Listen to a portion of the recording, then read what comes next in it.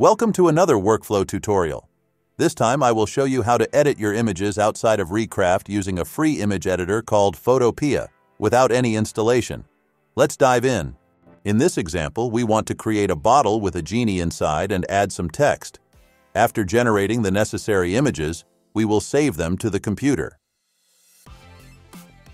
In Photopea, open or drag your saved images. Because the genie is too big, we will adjust its size. By decreasing the opacity of the image, we can accurately position it where we want.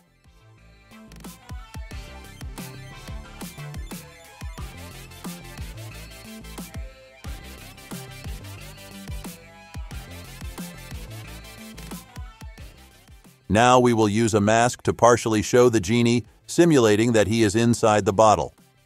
Painting with white color will reveal the image, while painting with black color will hide it.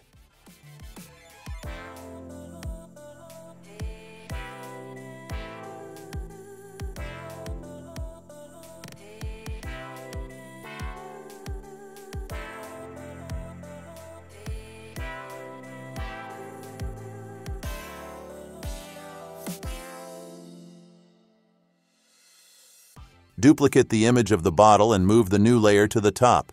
We will simulate the genie inside the bottle by decreasing the opacity of the new layer. Now, with the Text tool, we will add text to the image and apply a white contour to it for an extra touch of detail.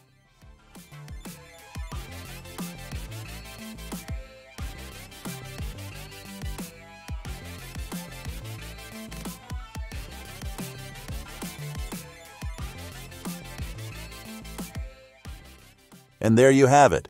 I hope you found this quick tutorial helpful. See you in the next one.